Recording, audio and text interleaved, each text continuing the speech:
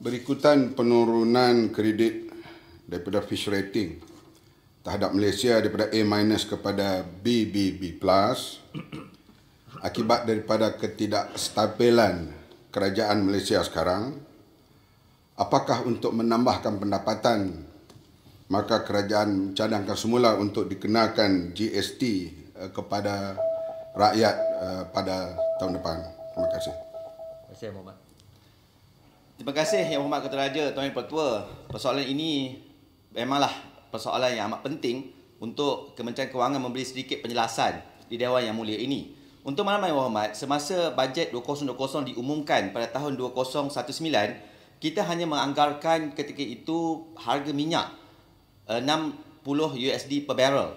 Tetapi apa yang berlaku disebabkan pandemik uh, COVID-19, harga minyak berada dalam paras 40 dan defisit semasa kita menganggarkan bajet 2020 berada dalam kiraan tiga jangkaan kita pada tahun 2020 sepatutnya 3.2 uh, peratus defisit fizikal.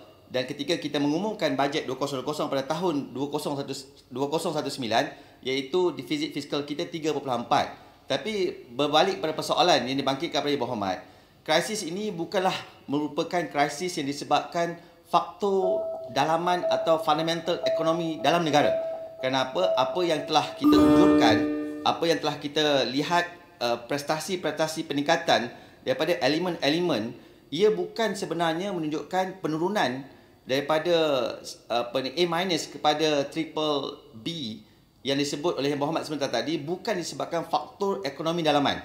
Kerana banyak penunjuk-penunjuk sebagai contoh kedudukan Malaysia di antara negara yang paling kompetitif di rantau ini menduduki tempat ke-12 dalam laporan doing business. Tetapi berbalik kepada persoalan Yang Berhormat sama ada kita akan melaksanakan GST atau tidak.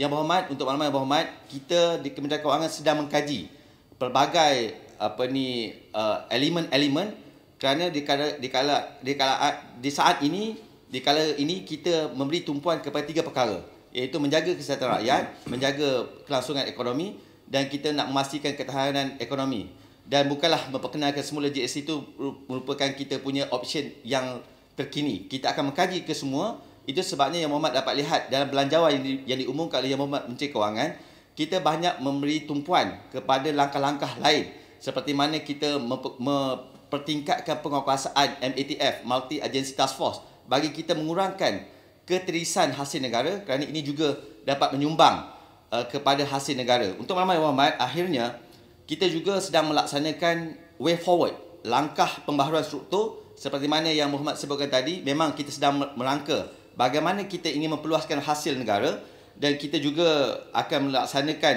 uh, lebih tingginya governance. Kerana apa? Bagi kita yang pentingnya adalah governance. Itu sebabnya yang yang Muhammad Menteri Kewangan amat committed untuk kita mengubahkan satu uh, akta yang dinamakan Akta Tanggungjawab Fiskal untuk menambah baik pengurusan dan pelaporan fiskal. Terima kasih, Yang Muhammad. Terima kasih. Saya persilakan Yang Berhormat Tuan Sabri bin Aziz.